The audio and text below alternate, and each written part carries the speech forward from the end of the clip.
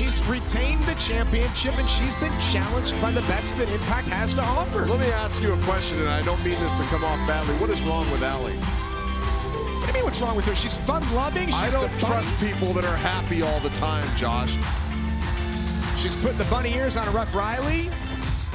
And Taya Valkyrie has seen go. enough. Taya all over Allie. Yeah, welcome to the wrestling business, kid. That how hard is it to beat somebody twice? Remember, we saw these two go one-on-one at WrestleCon on April 6th in New Orleans. Allie's got to do it again. I think when Allie has been brutalized the way she has, I think the, the, the deck is stacked against her. It's the champ. People talk about the champion's advantage. The champion's disadvantage is everyone brings their A game when they fight you. The disadvantage is being the champion. Both of these two have spent time competing all over the world in places like Shimmer and Rise. Speaking of Rise, May 12th in Pittsburgh, Pennsylvania, you can check out Rise Ascent.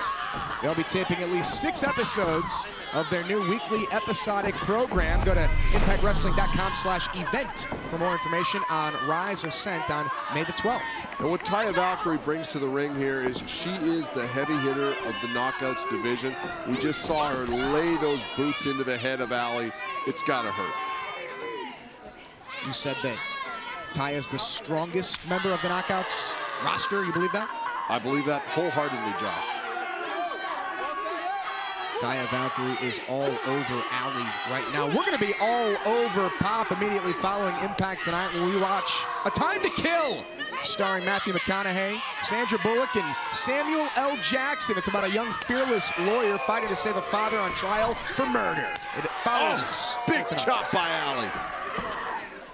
Allie's got that different gear down, and every time she's in the ring with somebody, she seems to match that level. She definitely got a temper, and I like to see that side of Allie come out. Too much pandering to the fans. So you don't like the fun-loving entrance, but you like it when she gets gritty and down and dirty. I like it when she gets down in the mud like the rest of us, Josh. Down in the trenches, that's where Allie's going to have to live if she wants to retain her title. Taya is really just showing off her power advantage in this match. Taya's manhandling her, or would it be woman handling? I'm not sure. I think it would be woman handling. There you go. That's what she's doing. Comes Taya trying to build some speed. Got caught by Allie, and Allie used Taya's force and momentum to her advantage. Ooh! Crash and burn. was the Knockouts champion. How hard is it? I mean, twice in, in one week, she's got to defend her Knockouts championship. That's the life of a champion, Josh Matthews.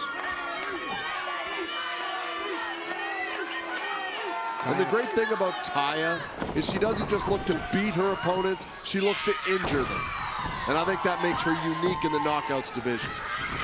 Now they're trying to build some momentum here, get a flurry of offense going. Clothesline after clothesline, rocking Taya Valkyrie. Allie loves to scream, I'm Allie. It sort of fires her up. It's her mantra. And now look at this side. Russian leg sweep, shoulders down. Not a tight cover, it allowed Taya to kick out at two. You think if she would have got fully over, she would have been... I, I think this is the strength differential that you're seeing. I think that Allie's almost going to have to hook something where she's got both legs hooked to keep Taya down. Based purely on the power of Taya Valkyrie. Ooh.